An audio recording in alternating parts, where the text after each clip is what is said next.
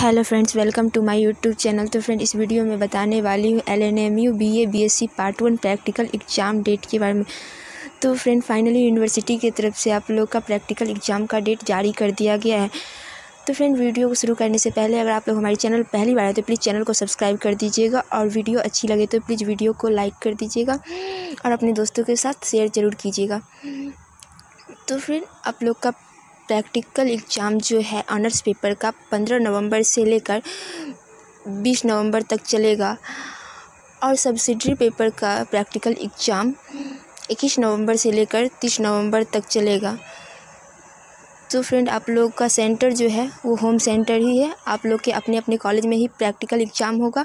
तो आप लोग अपने अपने कॉलेज से पता कर ले आप लोग का प्रैक्टिकल एग्ज़ाम किस डेट को है। अगर आप लोग को नोटिस का पीडीएफ चाहिए तो मैं लिंक डिस्क्रिप्शन में डाल दूँगी, आप लोग वहाँ से देख सकते हैं। तो फ्रेंड, इस वीडियो में इतना ही।